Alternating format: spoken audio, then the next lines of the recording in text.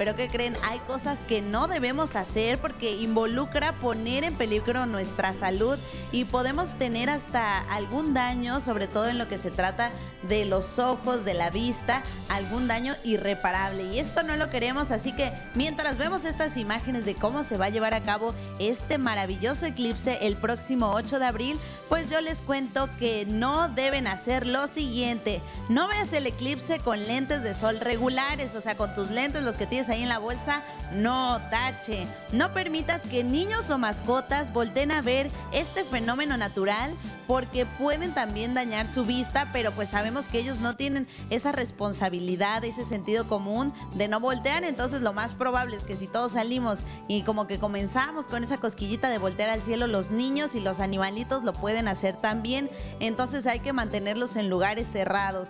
Y también pues no hay que verlo más de 30 segundos. Así usted tenga las gafas certificadas o también pues estos filtros de soldadura que ya nos han recomendado los de protección civil y algunos otros científicos, pues no debemos verlo más de 30 segundos seguidos. O sea, puedes voltear, hacer una pausa y continuar.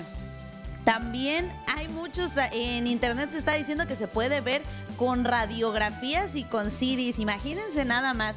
Pues no hay que hacerlo, o sea, algunos productos caseros tampoco hay que utilizarlos, entonces pues ahí está.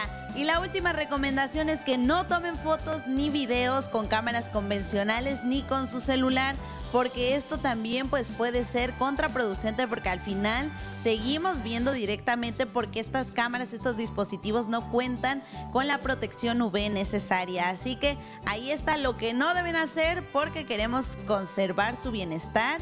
Y sí, hay que verlo, pero sobre todo pues en algunos canales como en Televisa Veracruz, que lo vamos a estar transmitiendo en diferentes espacios, entonces las imágenes van a estar, no se lo va a perder, no se va a perder ningún detalle. Así que, ¿qué les parece?